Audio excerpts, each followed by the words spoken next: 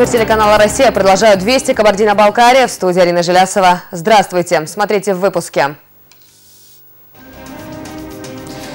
Жителям республики, чьи домовладения пострадали в ходе спецоперации, возместят, возместят ущерб. Средства уже выделил федеральный бюджет.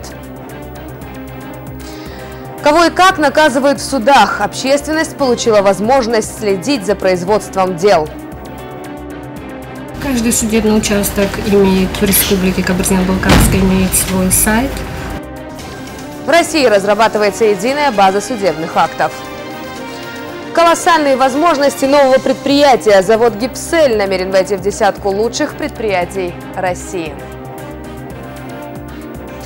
Ну и теперь подробнее об этих и других событиях. Правительство Кабардино-Балкарии распорядилось выделить средства на возмещение ущерба, причиненного при проведении режима КТО. Об этом сообщает пресс-служба главы правительства КБР.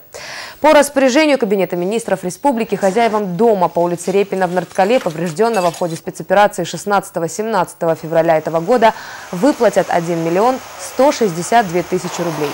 Владельцы жилья в поселке Мир, где 12 марта уничтожили бандгруппу, получат 2 миллиона 154 тысячи рублей. Хозяевам домовладения, поврежденного во время одной из спецопераций в апреле этого года, в Хасане выплатят 634 тысячи рублей. По словам начальника Главного управления МЧС России по Кабардино-Балкарии Сергея Шагина, средства будут направлены на помощь гражданам для восстановления поврежденных жилых объектов и возмещения утраченного имущества. Общество должно знать, как и кого наказывают в рамках правового поля. Российский судебный департамент приступил к созданию единой базы судебных актов.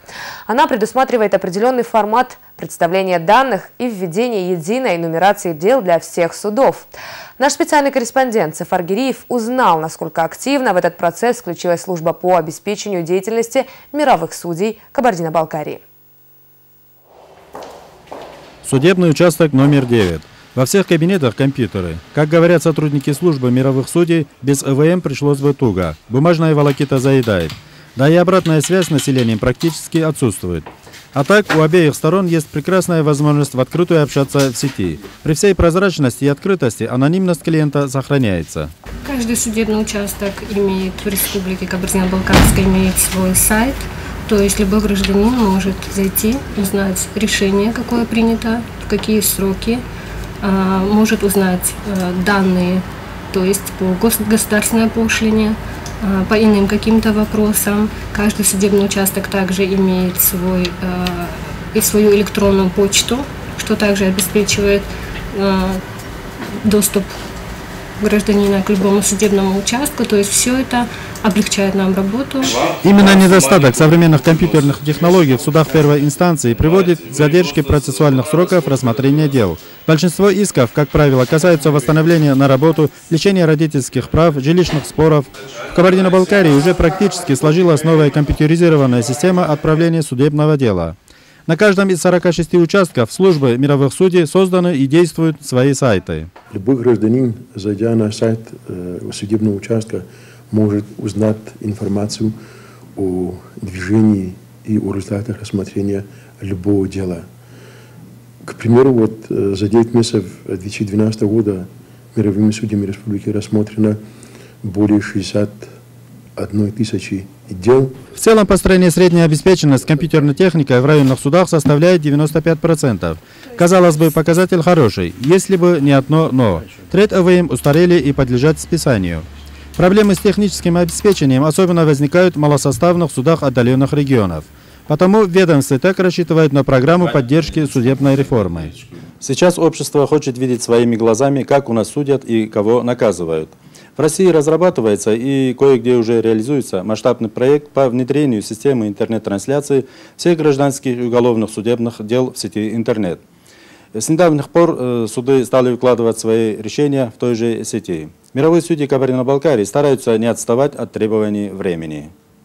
Сафар Гиреев, Анатолий Тереко. Вести, Кабардино-Балкария. С октября текущего года в Кабардино-Балкарии началась выплата накопительной части пенсии. Процедура проводится в рамках программы государственного софинансирования. С 2002 года вступить в нее мог каждый работающий. Получить накопленные средства могут те, кто уже достиг пенсионного возраста. В отделение фонда республики уже обратились свыше тысячи человек. О работе программы и том, как можно к ней присоединиться, Наталья Булат. Уже три года как на пенсии житель Майского района Виктор Варевода продолжает работать к программе госсофинансирования. Мужчина присоединился несколько лет назад. Ежемесячно перечислял на индивидуальный лицевой счет по тысяче рублей. Еще столько же добавляло государство. Сумма накопилась немалая в пенсионный фонд. Варевода пришел узнать, в каком виде он может получить свои деньги. Ну, как там получится? Или единовременно выплатят, или же будут перечислять ежемесячно какую-то долю от той суммы, на мою сберкнижку в счет пенсии. Обычно говорят, старость – это не радость. Ну, может быть, как-то сгладится хотя, хотя бы частично.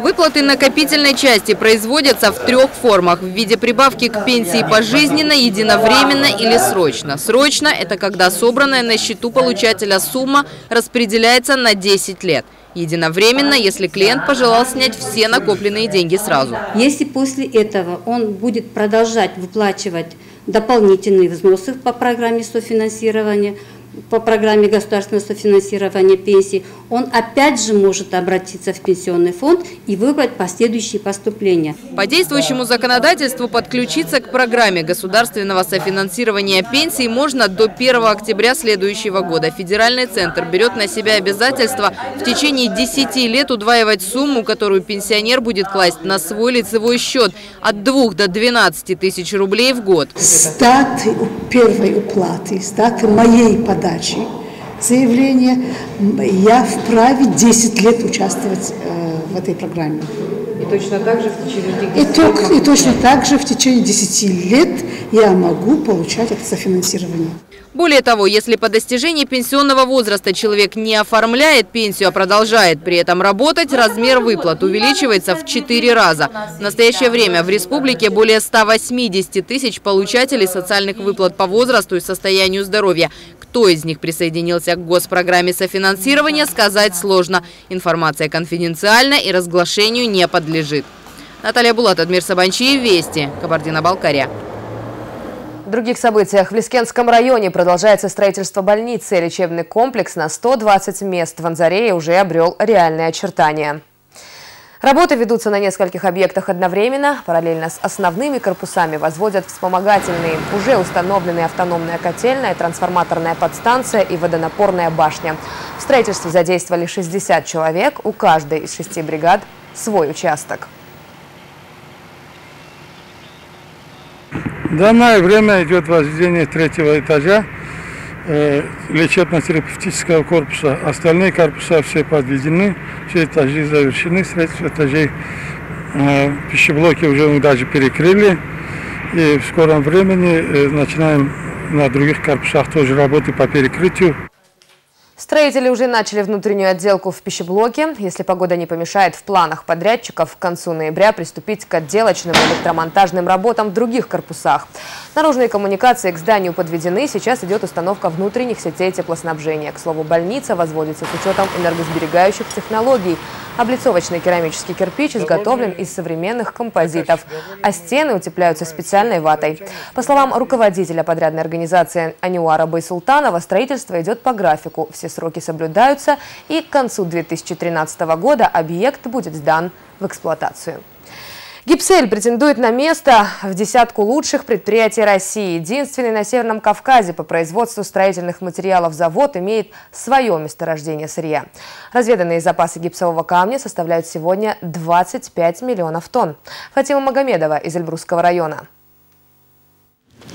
Пять производственных комплексов в составе одной компании «Гипсель» сосредоточены теперь в одном месте. Сегодня этим не может похвастаться ни одна строительная фирма в мире, будь то КНАВ, Волм или Самарский гипсовый комбинат. Три из пяти заводов уже на стадии завершения ввод в эксплуатацию новых мощностей намечен на четвертый квартал текущего года. Уже 22 января мы должны получать первую продукцию по нашему плану, согласованному с немцами. Они будут участие принимать во, во всем. Смонтирован и готов к пуску завод гипсовых сухих смесей. Продукция по ценам не выше рыночных будет выигрывать в качестве. Данный завод имеет э, возможность дозирования более 24 компонентов и производства не менее 7, компонент, 7 номенклатур готовой продукции. Гипсель планирует заняться еще изготовлением гипсовых панелей для подвесных потолков толщиной до 100 миллиметров. Еще одно ноу-хау для российского рынка. Есть альтернативные материалы, но именно гипсовых панелей э, по той технологии в том формате на сегодняшний день нет. Завод имеет и свое месторождение сырья. Разведанные запасы гипсового камня составляют сегодня 25 миллионов тонн. Предприятие намерено улучшить качество производства штукатурных смесей ручного и машинного нанесения, гипсового клея для монтажа строительных изделий, шпаклевочных смесей и других. Для изготовления будет применена технология аналогов, которой в Европе нет. Проект «Кабалгипс» уже сегодня входит в пятерку крупнейших в России. Вопрос быта продукции уже не стоит. Основной акцент, конечно же, мы делаем на Россию, но мы не исключаем возможность реализации на ближайшие зарубежья. Э, в частности, э, у нас были контакты с белорусскими компаниями. Я думаю, что мы после запуска возобновим работу с предприятиями ближнего зарубежья. После завершения реконструкции предприятия значительно увеличится поступление доходов в местный бюджет. Каждые 4 минуты должна выходить груженная машина в месяц э, в рублевом эквиваленте это около 300 миллионов рублей продукции. Э, сегодня, если мы сегодня имеем фонд заработной платы всех организаций, которые здесь задействованы, около 10 миллионов, э, при э, выходе на полную мощность эта цифра будет около 18 миллионов. Естественно, отсюда, э, отсюда будут отчисления в бюджет э, местный бюджет, региональный бюджет, федеральный бюджет. В рамках проекта приобретено новейшее оборудование. Оно существенно ускорит производственный процесс и сделает его более технологичным. В планах строительства известкового завода уже сегодня в компании трудится более 200 человек. В ближайшее время их число вырастет на порядок. Фатима Магомедова, Анзор Кашироков Марат Татруков. Вести, Кабардино-Балкария.